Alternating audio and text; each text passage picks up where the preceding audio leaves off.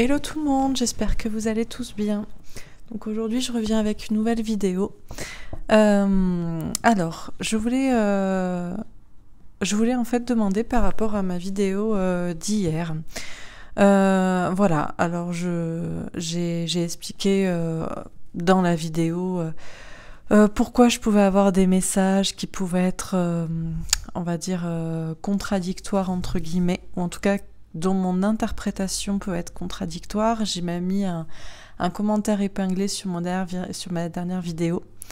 Et euh, je voulais revenir là-dessus parce qu'effectivement, je... ça m'embête.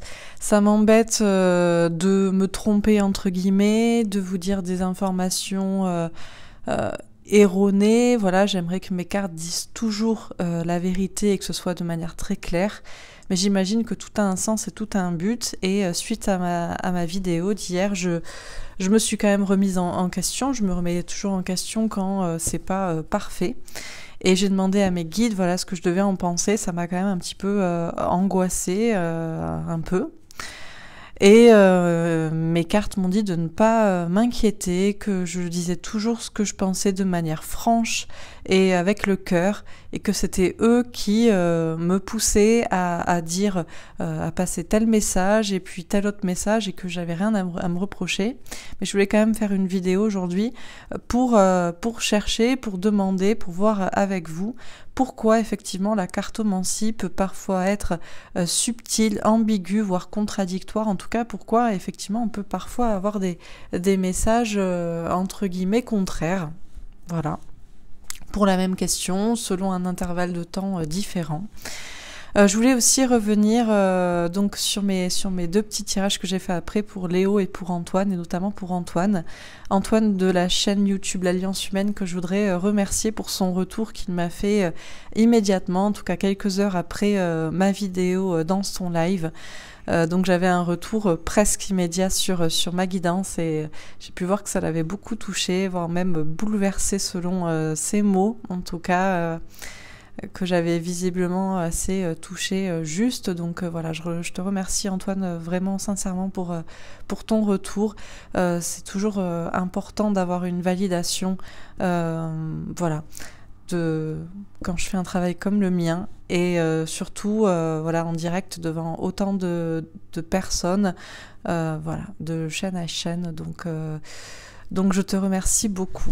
Euh, j'ai cru entendre que tu étais d'un signe du cancer. J'aurais pensé peut-être taureau ou éventuellement j'avais pensé poisson. Euh, je, voilà, en tout cas un signe visiblement euh, loyal et, et dévoué. Donc, donc je pense te correspond assez.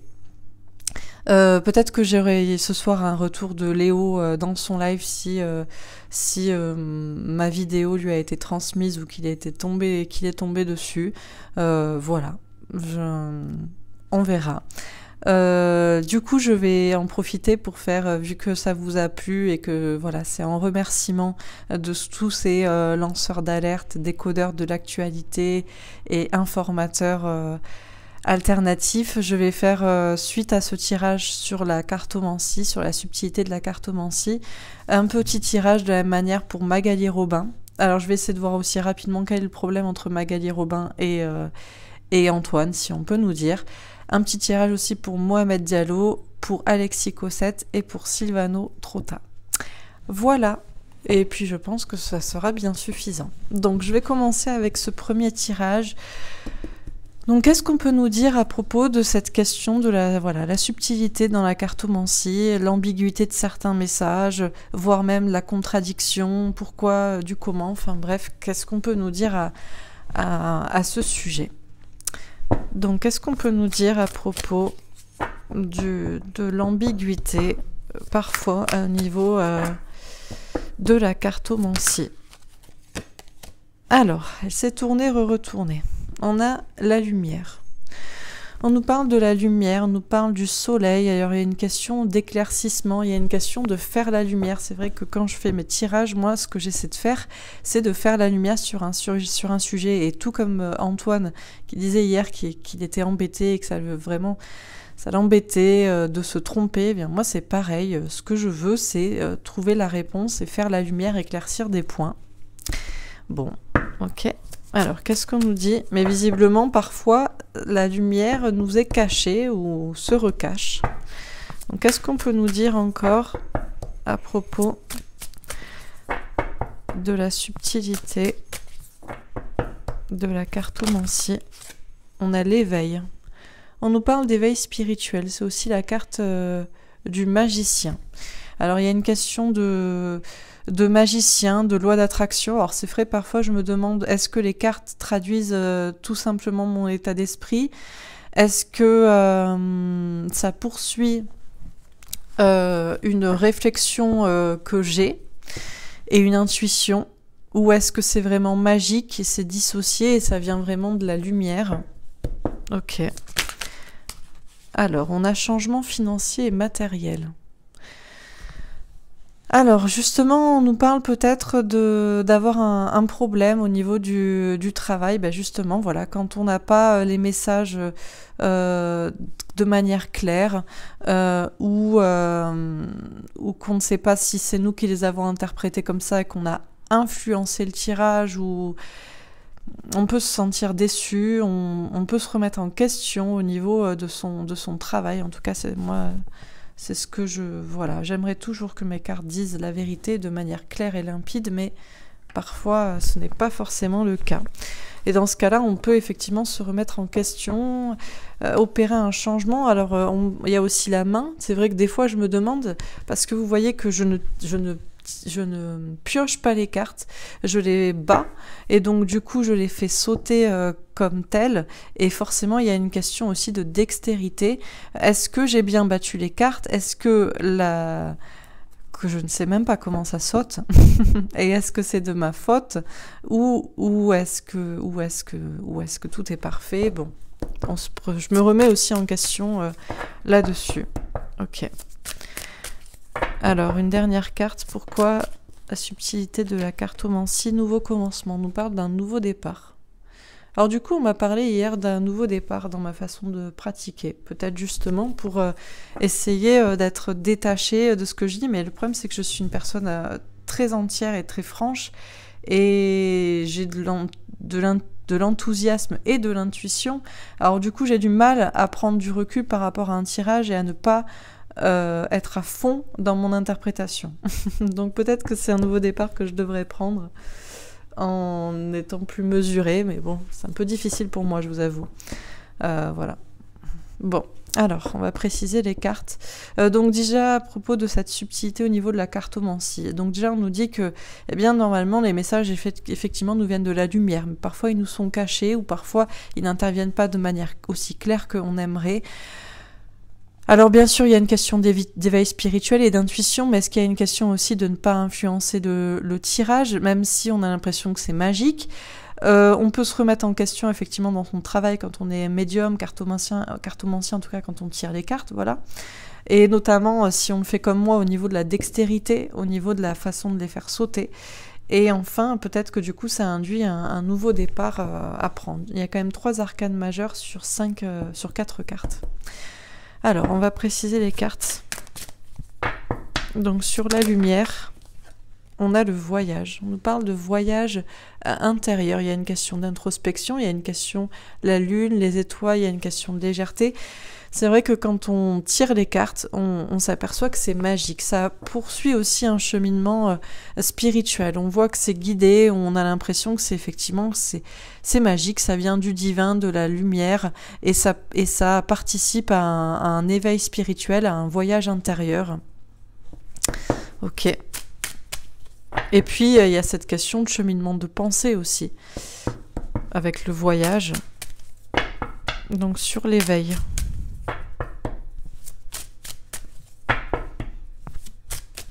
on a la naissance.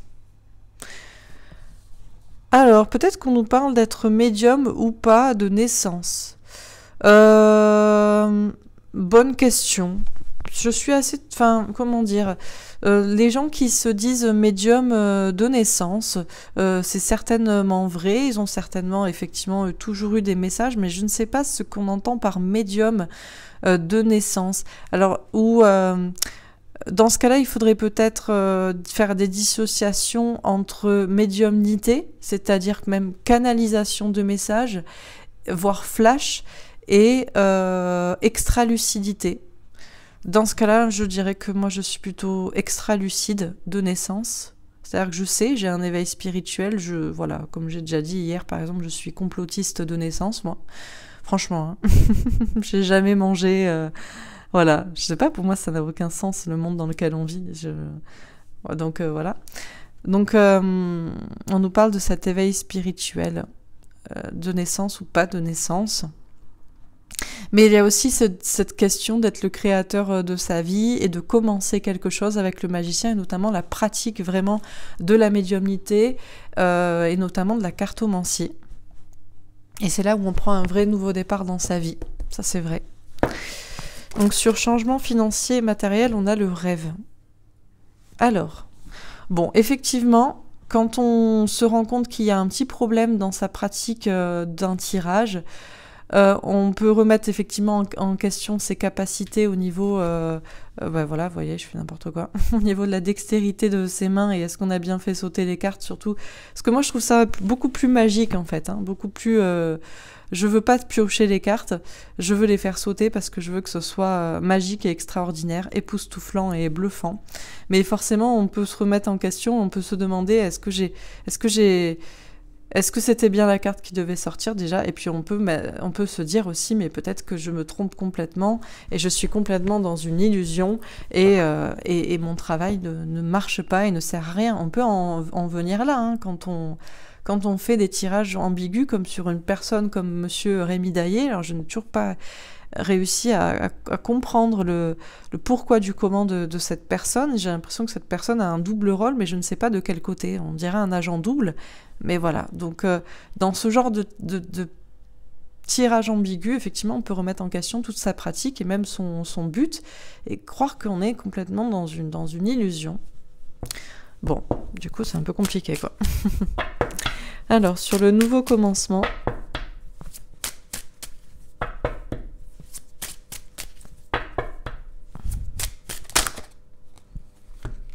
Alors, on a l'enfant. Et on a le boomerang. Alors, je vois un nouveau commencement. Donc peut-être dans la pratique de la cartomancie, mais je vois aussi, euh, euh, j'ai l'impression que sur la nouvelle terre, peut-être que ce sera devenu, en tout cas moi j'aimerais, je trouverais ça vraiment vraiment bien.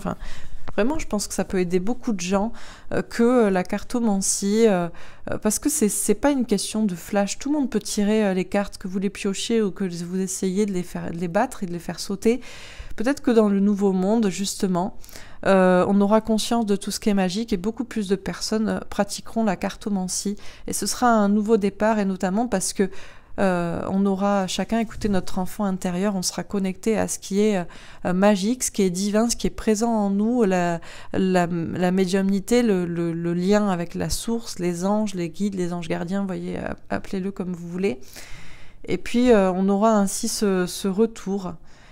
Il y a un nouveau départ aussi pour, pour les enfants parce que tout le monde sera beaucoup plus tout le monde sera beaucoup plus connecté euh, aux enfants, à son enfant intérieur, en protection des enfants. Et peut-être que du coup, euh, euh, vu que c'est magique, eh bien, ça sera plus pratiqué aussi. Alors sur la lumière, pour l'instant, j'ai pas de, ça m'explique pas le pourquoi du comment. On m'explique un peu la, la cartomancie ce que c'est, mais bon. Sur la lumière et le voyage. Alors j'en ai deux, d'accord. Donc euh, la première qui a sauté, c'est la reine de coupe. Mais la première que j'ai vue, d'où la subtilité, c'est le pape. Question de contrat euh, d'âme, de contrat spirituel, de vocation. Alors, c'est vrai que pour tirer quand même les cartes, il faut quand même être euh, du côté de la lumière. Peut-être que si elle s'est retournée, c'est parce qu'il y a aussi des praticiens de cartes qui ne sont peut-être pas aussi du côté de la lumière et qui peuvent être du côté du côté un peu euh, sombre, hein, euh, comme il y a des sorciers blancs et des sorciers noirs. D'ailleurs, je vois une personne avec une robe blanche et quelqu'un avec une robe noire. Et euh, quoi qu'il en soit, en tout cas moi pour ma part et pour mon propre chemin, pour mon propre voyage de spiritualité, euh, moi je cherche, à, ce que la vérité soit dite et peut-être que parfois euh, il, faut aussi euh, donner un, certain espoir, non pas pour donner un espoir faux, mais pour rassurer et donner de la, joie. en tout cas c'est moi mon, mon voyage, mon combat. Et on nous parle aussi, on nous dit qu'il faut effectivement être dans l'amour avec la reine de coupe. Et il faut aussi avoir cette vocation spirituelle, ce contrat d'âme, cet alignement vertical avec euh, la source, le divin, appelez-le comme vous euh, voulez. Bon, ok. Alors sur l'éveil et la naissance, on a le 10 de bâton. On nous parle d'un fardeau, de quelque chose qui est difficile. Alors c'est vrai que quand on est éveillé euh, de naissance, que l'on soit médium, qu'on canalise, qu'on reçoive des messages, des flashs, ou qu'on soit tout simplement extra-lucide, extrêmement euh, éveillé et conscient des choses, euh, depuis toujours, c'est un fardeau. On va pas se mentir. En tout cas, c'était un fardeau jusqu'ici. Peut-être que les enfants dans le, nouveau, monde ne seront pas comme ça, n'auront pas ce fardeau lourd à porter que de que de savoir euh, la vérité ou des vérités ou, ou de, recevoir des messages.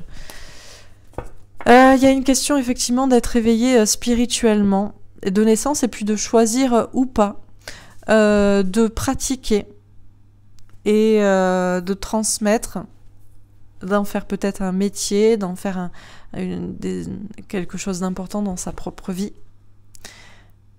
Mais euh, justement, euh, pour, euh, pour la plupart des, des médiums, si le fardeau est lourd, il faut le porter. Dans ce cas-là, il faut travailler, il faut dire, il faut exploiter ses dons. voilà, ses capacités. Sur le changement, changement financier et matériel et le rêve, on a le 8 de coupe. On nous parle de distance, de recul.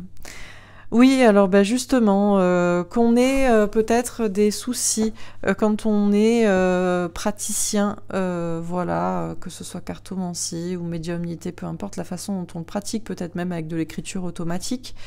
Euh, ou même le magnétisme éventuellement, ou en tout cas peut-être recevoir des messages en touchant la personne, voilà, parce que je vois quand même c'est toujours ça passe par la main, donc est-ce que c'est tirer les cartes, est-ce que c'est les faire sauter, est-ce que c'est écrire, est-ce que c'est toucher une personne et recevoir un message par contact?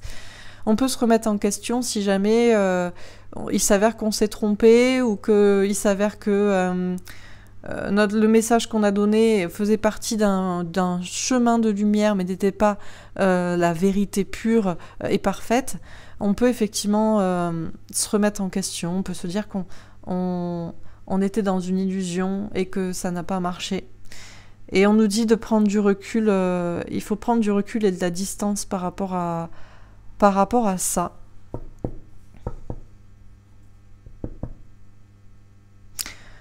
Euh, on nous dit aussi qu'effectivement, si on choisit de pratiquer, de faire un métier relié à justement les intuitions et la médiumnité, ce genre de choses, ça, ça implique effectivement forcément un changement de vie.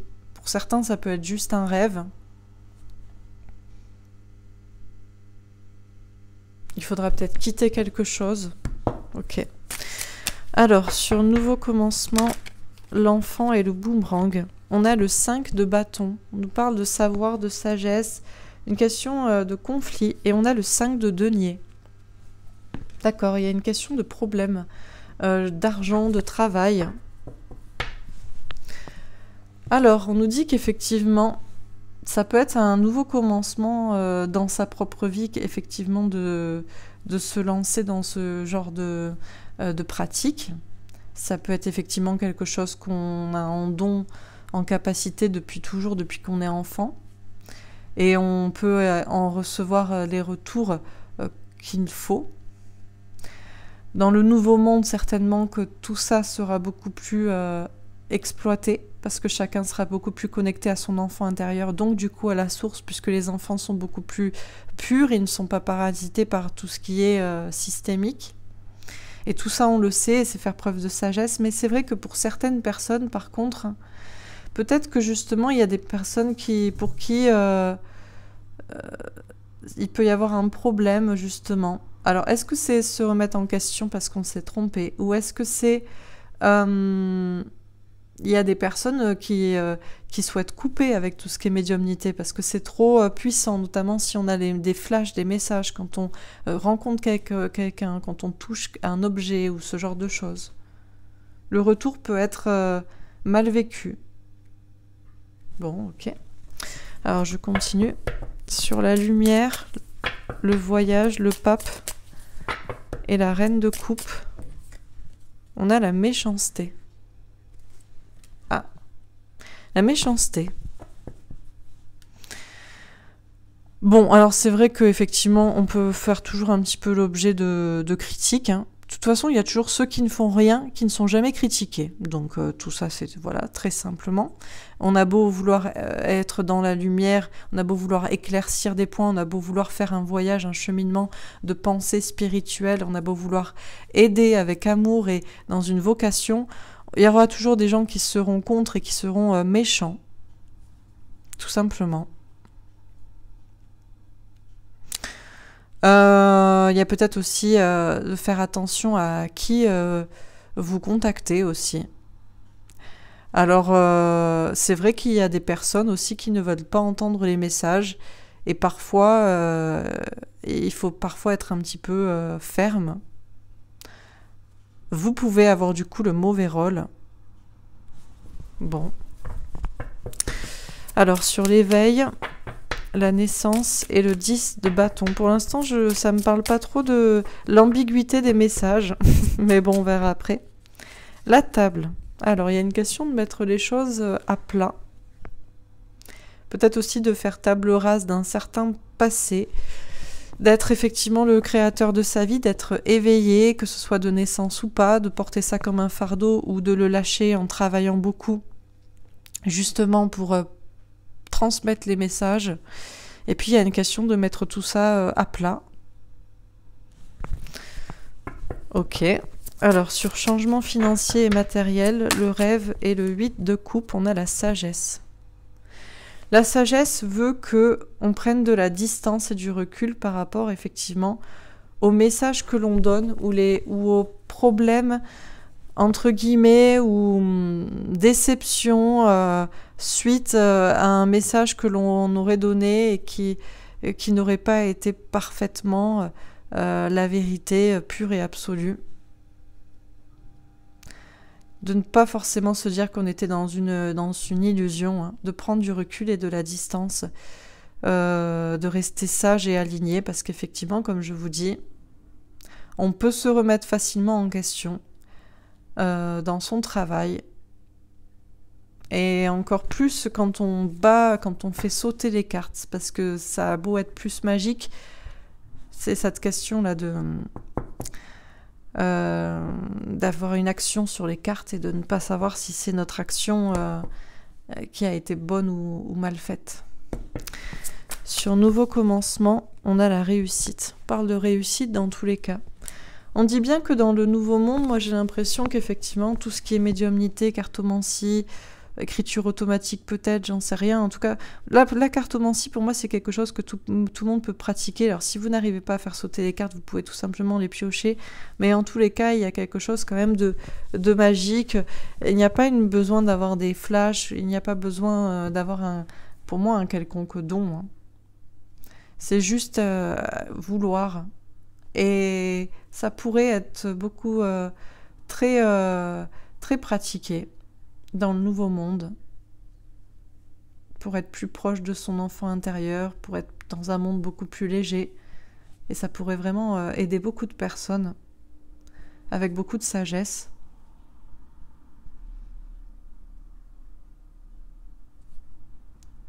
Ok. Alors, je termine. Sur la lumière, le voyage, le pape, la reine de coupe et la méchanceté. On a le livre. Beaucoup de choses à comprendre avec un 10 de carreau. Un fardeau, là aussi, beaucoup de choses à dire, beaucoup de, beaucoup de travail. Ben, ouais. moi, je pense que je travaille quand même beaucoup. J'essaie d'être là euh, au moins une heure par jour pour vous donner des messages. Et c'est vrai que il se trouve que parfois, je peux avoir, comme je vous dis, dans des cas euh, très particuliers, des messages que j'estime euh, assez ambigus. Et il y a beaucoup de choses à comprendre sur tout ça. C'est un vrai voyage. Hein. C'est un vrai voyage spirituel, de connaissance, de recherche. Et même si on le fait avec beaucoup d'amour et en, étant, en ayant vraiment pour vocation de d'éclaircir les choses et d'être dans la vérité et, de transmettre de l'espoir, eh bien, il y aura toujours des gens qui auront quelque chose à redire. Alors, est-ce qu'aussi parce que parfois euh, la lumière nous pousse à être, euh, comme je vous dis, euh, franc, voire direct, et qu'on pourrait prendre ça pour de la méchanceté Quoi qu'il en soit, il y a beaucoup de choses à dire sur tout ce travail-là et, ça peut être lourd pour la personne qui le fait. Sur l'éveil, la naissance, le 10 de bâton et la table. D'accord. Alors on a le bouquet, le cadeau avec une reine de pique, une femme qui écoute ses intuitions. Et on a le renard, la ruse avec un œuf de trèfle, argent, travail, santé. Alors on nous parle d'un éveil effectivement euh, spirituel. On nous parle d'être éveillé dans tous les cas spirituellement. C'est vrai qu'on ne peut pas euh, pratiquer euh, quelque chose qui est de l'ordre de, de messages subtils pour éclaircir et qui viennent du hasard sans être éveillé de naissance ou pas que ce soit une obligation, un fardeau à porter ou qu'il il faut faire ce travail et mettre les choses à plat. Effectivement, on peut, bien sûr, euh, je ne vais pas vous, mentir et ne veux pas vous dire qu'on n'est pas récompensé, euh, que ce soit ne serait-ce qu'en en, posant un fardeau et en utilisant des, capacités qu'on a ou en pouvant exprimer des messages qu'on retient depuis, depuis longtemps ou que ce soit tout simplement en aidant les gens, et bien sûr, on peut être récompensé par de, par de l'argent. Et oui, effectivement, il y a des personnes qui font ça, euh, bien sûr, pour l'argent. Sur changement financier et matériel, le rêve, le vide de coupe et la sagesse, on a le cavalier d'amour avec un œuf de coupe, un cadeau, un souhait exaucé. Alors oui, ça implique effectivement des changements euh, de vie, de faire ce métier, et effectivement, on peut aussi se remettre rapidement, de, rapidement et régulièrement en question, savoir euh, surtout si on a l'impression, euh, comme je vous dis, euh, que le message n'est pas parfait. Et dans ce cas-là, on pourrait se, se, penser dans une illusion, mais on nous dit de prendre du recul avec cela, qu'il faut être sage, et que si on fait ce métier-là, c'est que quand même on est quelqu'un de sage, euh, et qu'on nous dit qu'il y a une question d'être récompensé, d'avoir l'espoir. Oh, et on a le cœur, l'amour. Bon, ben, j'espère que je fais ça, que vous le sentez en tout cas, que je fais ça avec amour. Et, en tout, et on a encore avec un valet de, de cœur un enfant. Je vous dis vraiment, je pense que dans le nouveau monde, la cartomancie, je, moi franchement, je vous dis, comment j'imagine le nouveau monde, tout le monde aura des cartes. Tout le monde aura des cartes et tout le monde, quand il aura une question à poser, ne demandera pas à conseil peut-être pas à un psy, mais conseil, euh, alors peut-être à un cartomancien, mais même de soi-même, chacun, à des cartes pour toutes sortes de, sujets. Parce que c'est vraiment, je vous dis, c'est vraiment magique. Et c'est vraiment, si c'est magique, c'est qu'on est relié à notre âme d'enfant. Et vu qu'on va rentrer dans un nouveau monde qui sera beaucoup plus préoccupé par les enfants, puisqu'on les aura oubliés jusqu'ici, et on doit oublier chacun notre âme d'enfant, eh bien la sagesse voudra qu'effectivement pour la réussite du monde, on, utilise tous ces talents, tous ces, dons, toutes ces capacités, tous ces outils de, de médiumnité. Bien que pour certains, effectivement, euh, euh, alors que ce soit effectivement pour régler aussi des problèmes concrets hein, dans sa vie, je vois ça. Ok, alors je termine. Donc sur la lumière, Bon, finalement, je, je vois pas de. Euh, voilà. on m'explique pas pourquoi le message, les messages peuvent être subtils, mais on me dit, on me parle de la cartomancie. Donc voilà, c'est toujours pareil, c'est que quand je pose une question, je ne sais pas ce qui va tomber. Et souvent, mes guides euh, veulent faire passer un autre message plus, plus global, des, notions euh, que j'avais pas pensé, auxquelles j'avais pas pensé, ou faire passer un message à ce sujet, raconter quelque chose. Donc, je prends, voilà, écoutez, je, comme je vous dis, je fais avec franchise. Donc, si je fais passer un message, c'est que c'est le message qui doit être passé. Hein. C'est pour ça que on m'a dit de ne pas m'inquiéter. Euh, voilà, si j'avais le sentiment de m'être trompée, euh, que ce soit avant, que ce soit hier, ou voilà. Donc sur la lumière.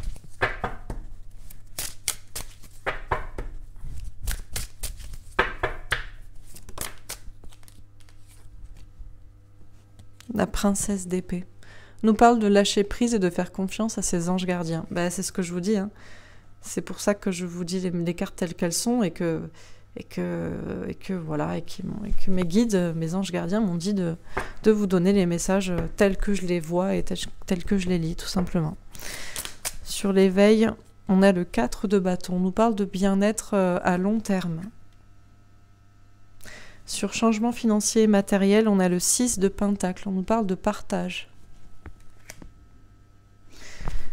Sur Nouveau commencement, on a le roi de Pentacle.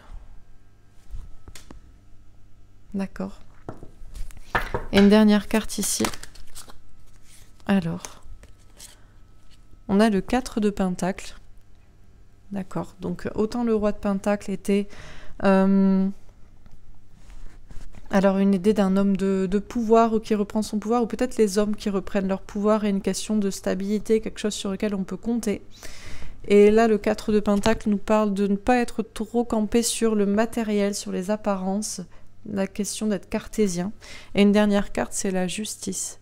La justice qui tranche. Ben, c'est ce que je me dis, c'est-à-dire qu'on va rentrer dans un nouveau monde où déjà beaucoup de personnes vont quand même halluciner suite à des décisions de, justice, et c'est la justice divine, un, monde incroyable, incroyable dans lequel on était. Donc je pense que tout ce qui est médiumnité et cartomancie va, être encore un level au-dessus, vous voyez. Ça va être un niveau au-dessus euh, de conscience et du nouveau monde. Donc je continue. Sur lumière et princesse d'épée, on a le cavalier de coupe. On nous parle de communication euh, sincère. Sur l'éveil et le 4 de bâton, on a les amoureux, le destin euh, amoureux, le choix aussi. Sur changement financier et matériel et le 6 de pentacle.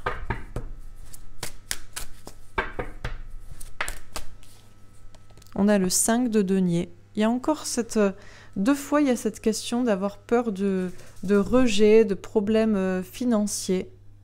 Et entre les deux, j'ai le 6 de pentacle, la question de partager. Ok.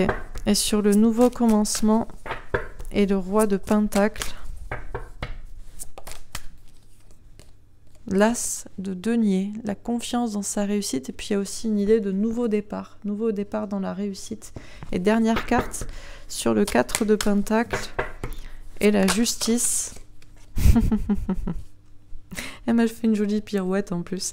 On a l'as d'épée, la vérité. Écouter ses intuitions et dire la vérité. Ben ouais.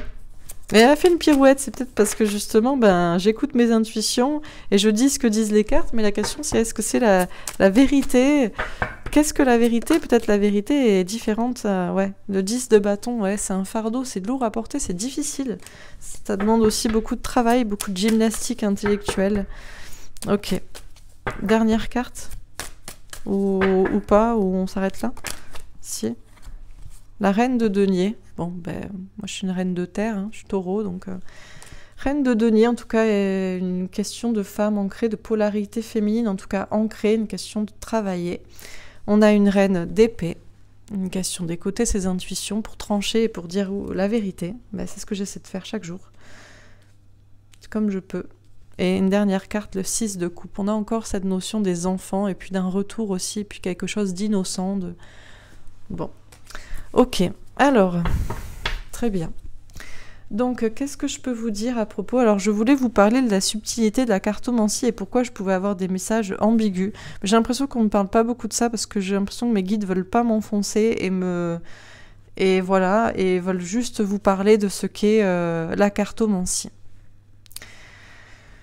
Donc, ça commence par la lumière, le soleil, l'épanouissement, l'éclaircissement, le bonheur, et ça finit par le cœur, l'amour, avec un valet de cœur, euh, l'enfant, l'enfant intérieur, le renouveau, un nouveau projet. On nous dit euh, que la cartomancie, c'est euh, la lumière qui s'exprime avec amour. C'est l'enfant intérieur qui s'exprime. C'est fait pour effectivement éclaircir des points, faire la lumière, peut-être donner de l'espoir, du bonheur. En tout cas, c'est fait, ça devrait toujours être pratiqué avec beaucoup d'amour et toujours dans l'idée euh, d'un espoir, d'un renouveau, d'une nouvelle chance pour euh, les personnes à qui ça s'adresse.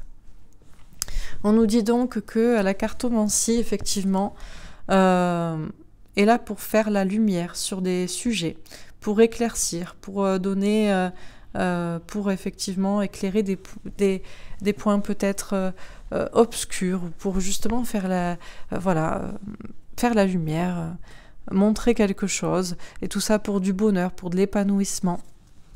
Pour ça, il faut écouter ses anges gardiens, il faut lâcher prise, il faut effectivement euh, euh, dire ce que les cartes nous disent de dire, et il faut communiquer avec sincérité, c'est ce que j'essaie de faire à chaque fois. Alors effectivement, ça, ça fait effectivement travailler, faire un, voyage euh, d'introspection, ça poursuit un travail spirituel, une réflexion, ça nous fait partir euh, sur un chemin et puis peut-être rebrousser chemin et repartir dans un autre chemin.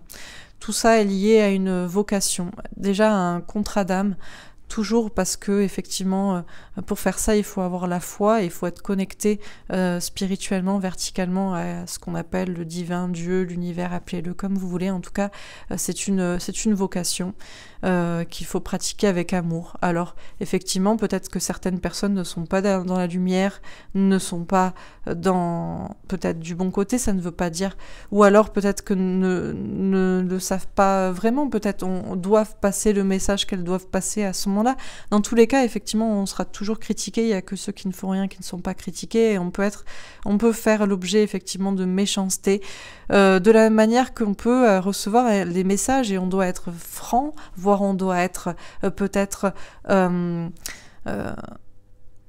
peut-être qu'on doit être parfois un petit peu effectivement ferme et on pourrait nous prendre dans ce cas pour méchant. Donc, quoi qu'il en soit, c'est un travail dans, sur lequel il pourrait y avoir beaucoup de choses à dire et, c'est compliqué, ça peut être effectivement euh, compliqué et lourd à, porter pour la personne qui le pratique, mais ça reste un, travail euh, de toute façon très intéressant à faire et à étudier. Alors euh, pour pratiquer la cartomancie, il faut être quelqu'un d'éveillé spirituellement. Et il faut aussi le vouloir. Il n'y a pas que effectivement être, être éveillé, mais il y a aussi vouloir en, soit en faire un métier, soit en faire une activité, en tout cas passer à l'action pour euh, mettre en pratique ces capacités-là. Euh, c'est toujours pour du bien-être à long terme, que ce soit pour soi-même, pour les autres ou pour les deux. Et c'est dans tous les cas un choix que l'on fait euh, pour son destin. ça peut être en lien avec effectivement l'amour. Ça peut être pour ça qu'on se lance dans cette dans cette pratique-là, où ça peut juste faire partie de, son destin. Dans tous les cas, qu'on soit euh, éveillé euh, de naissance, qu'on soit extra-lucide de naissance ou qu'on canalise, qu'on reçoive des messages euh, de naissance, faire le choix de pratiquer la cartomancie ou n'importe quel autre travail en lien avec les intuitions, c'est une nouvelle naissance, c'est une renaissance dans sa propre vie, c'est un nouveau départ. Parce qu'effectivement, déjà, recevoir des messages peut être un fardeau si l'on a des flashs euh, ou si tout simplement on est extra lucide et qu'on a beaucoup de choses à exprimer. Et dans ce cas-là, euh, ça va être une renaissance de le faire. Euh, ça peut être quelque chose qui était lourd à porter et de, de le pratiquer, de passer ces messages pourra faire du bien. En tout cas, c'est une question de tout mettre à plat euh, sur la table et d'en être récompensé, d'être récompensé pour ses intuitions. Alors bien sûr, il y a des personnes qui font ça pour l'argent et effectivement, euh, pratiquer la médiumnité peut effectivement rapporter de, l'argent, hein, de la réussite. Mais euh, ce n'est pas parce qu'on gagne de l'argent qu'on n'est pas, n'a pas une, récompense d'abord de, vocation et de, de message à passer, et que c'est pour ça qu'on le fait en premier. Alors oui, ça peut impliquer des changements de travail. Il y a des personnes qui peuvent faire ce, ce métier-là parce qu'elles ne gagnaient pas d'argent ou peut-être ou être obligées. Moi, c'était mon cas j'avais une entreprise de graphisme qui marchait très bien et du jour au lendemain où j'ai pratiqué euh, la cartomancie, on m'a enlevé, l'univers a fait que je n'avais plus de projet de graphisme et beaucoup de demandes en cartomancie, donc je n'ai tout simplement pas eu le choix. voilà. Donc ça peut effectivement impliquer un changement euh, de travail. Et dans tous les cas, c'est un partage, et moi c'est aussi pour ça que je vous partage euh, ces vidéos et que je fais ces, messages, et que je pense que je le ferai toujours sur ma chaîne, voilà, gratuitement, euh, même si je monétise mes vidéos parce que j'y passe quand même du temps, il n'empêche que... Alors bien sûr, on a toujours la peur que ça s'arrête du jour au lendemain, parce qu'on a fait une erreur, parce qu'on a donner un mauvais euh, message ou qu'on s'est effectivement euh, trompé. On peut se, remettre en question très vite. On peut avoir eu juste sur 100 consultations et se, et se tromper sur euh, une seule, ou en tout cas passer un message qui devait être entendu mais qui n'était pas la pure et extrême et absolue vérité. Et dans ce cas-là, on pourra rapidement se dire qu'on est complètement dans une illusion, avoir peur que tout s'écroule et que on se, voilà, qu'on fasse tout ça pour rien. Et c'est pour ça qu'on dit qu'il faut prendre beaucoup de recul et beaucoup de distance, parce que euh, dans tous les cas, il y a une question de sagesse. Déjà, il y a une question effectivement de, de peser le, le, pour et le contre et de voir euh, dans quel cas on s'est trompé, dans quel cas on a vu juste. Et dans ce cas-là, il y a a priori, euh, si on si on fait, on devrait normalement avoir beaucoup plus de messages justes que de messages faux. Euh, donc il y a une question aussi de sagesse, de ne pas tout remettre en question, de se rappeler que certains messages doivent être entendus aussi pour que peut-être certaines personnes changent quelque chose, un point de vue, quoi que ce soit. Il faut garder l'espoir et il faut toujours se dire qu'il y aura une récompense à la fin, surtout si on fait ça pour les bonnes raisons et euh, avant tout pour partager euh, quelque chose. Voilà. Alors euh, moi je pense, et visiblement c'est ce qu'on me dit, que dans le nouveau monde, il y aura un nouveau euh, commencement pour euh, tout ce qui est cartomancie, écriture automatique, en tout cas médiumnité et outils d'intuition. Parce que... alors on nous parle d'un homme de, pouvoir, on sait très bien qui c'est qui va mener ce nouveau monde, en tout cas l'amorcer.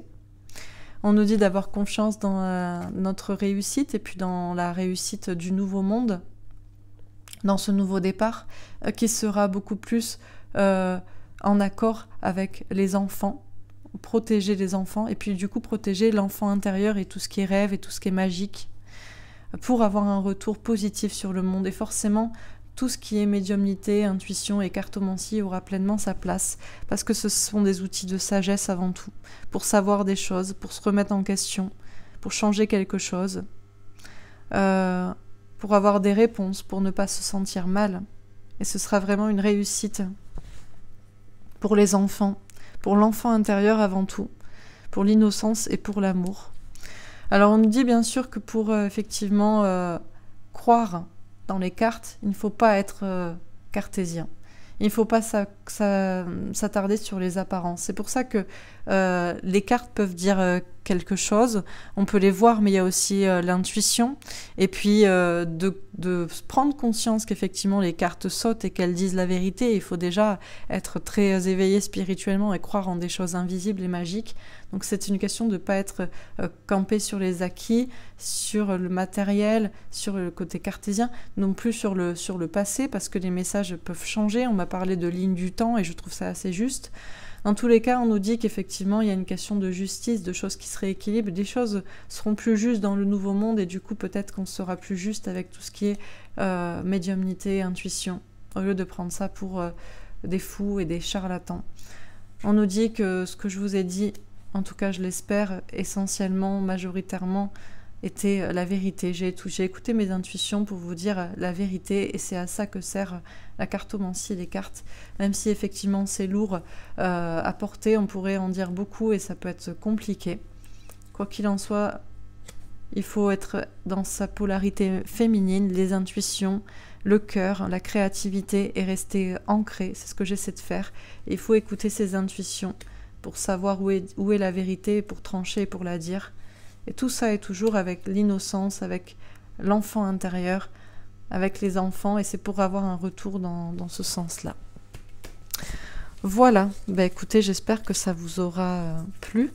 Alors c'était assez long comme vidéo, comme toujours quand c'est des sujets euh, entre guillemets euh, théologie et, un peu mystérieux, le tirage est assez long parce qu'il y a beaucoup de choses à dire, il y a beaucoup de, de notions, peut-être aussi parce que ça m'inspire euh, particulièrement et que j'y vois de nombreux messages et que je suis beaucoup plus sûre des messages vu que je sais exactement euh, ce que mes guides veulent dire.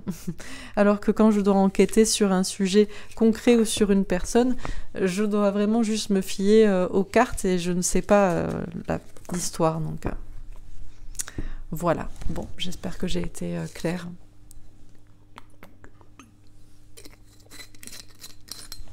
Alors, je vais faire un petit tirage avec l'oracle ombre et lumière. Je crois que je vais faire une deuxième vidéo, en fait, ce sera mieux. Pour euh, tout ce qui est lanceur d'alerte, comme ça je dissocierai. Donc, un petit tirage avec mon oracle ombre et lumière à propos, justement, de euh, la cartomancie.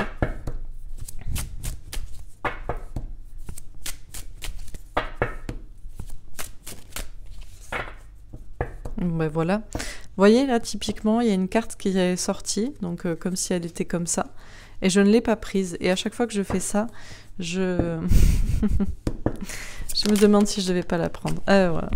Bon. Alors oui, certaines personnes se diront, c'est l'œuvre du diable. Ils pourraient même se dire, mais voilà la preuve, regarde la carte qu'elle a sortie. Cette fille est diabolique. Pays, territoire, nation. Ah, bon. Euh, notamment en France, ou alors je, c'est le, les cartes sont le, pays, le domaine du diable. NASA conquête spatiale, non.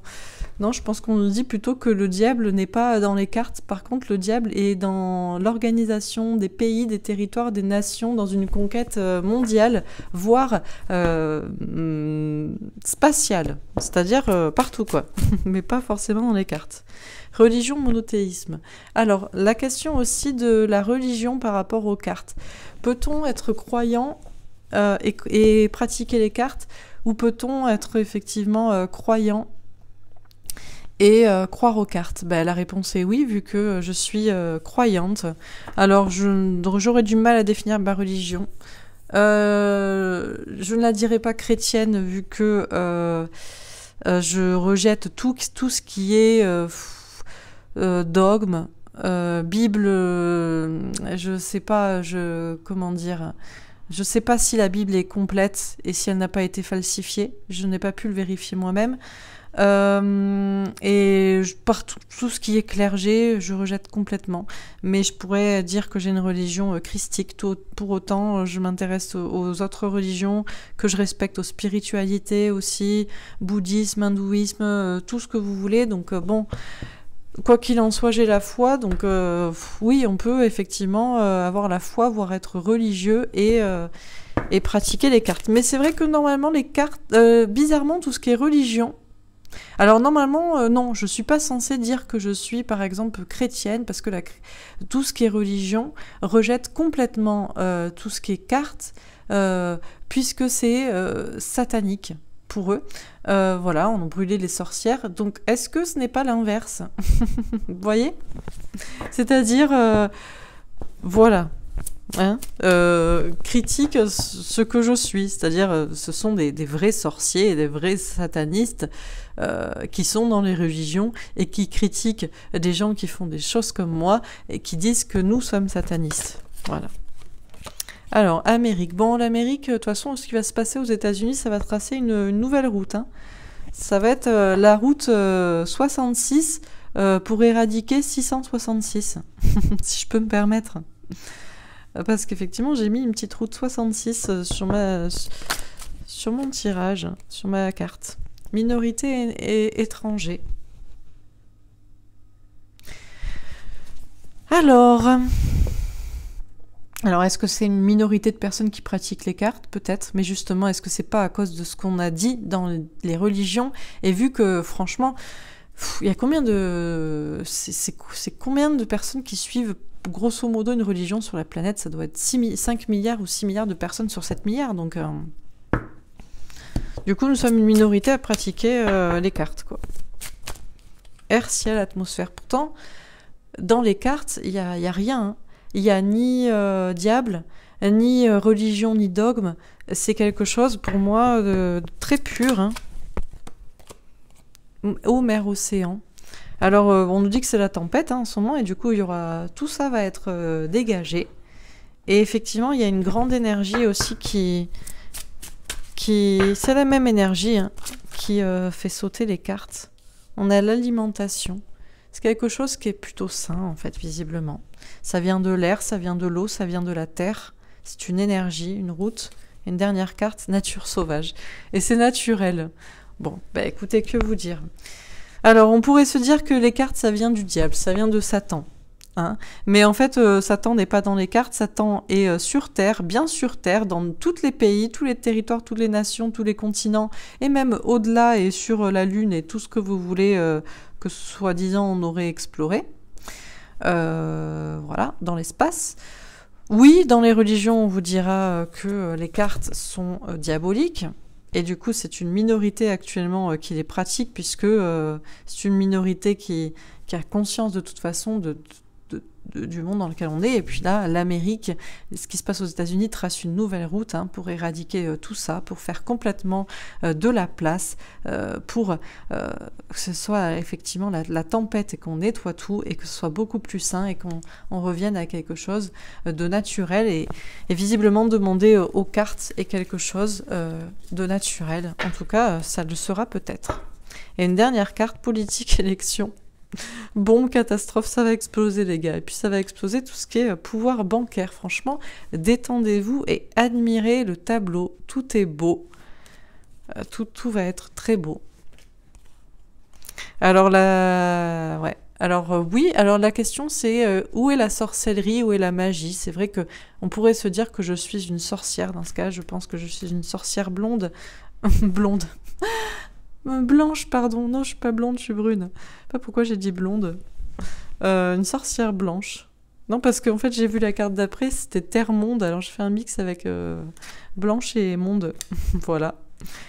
en France, je suis en France et j'essaie de vous dire la, vérité avec mes cartes, avec spiritualité et sagesse pour ce nouveau monde où j'espère que on verra les sorcières, entre guillemets, d'un œil différent, parce qu'en réalité, c'est magique. Et ce qui est magique est parfait et divin et naturel.